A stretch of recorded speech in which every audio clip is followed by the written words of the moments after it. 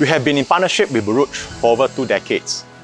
In fact, we were one of the first manufacturers in Singapore who adopted Borouge's product. The competitive advantage of Borouge's solutions lies in the quality, stability, and lifetime of its performance. Tai Sin Electric's products play a crucial role in delivering electricity to various sectors and have been used extensively in installations across Singapore and the broader region.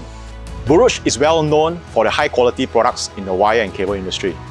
This level of quality has instilled confidence in our clients and facilitated our success in securing numerous iconic projects.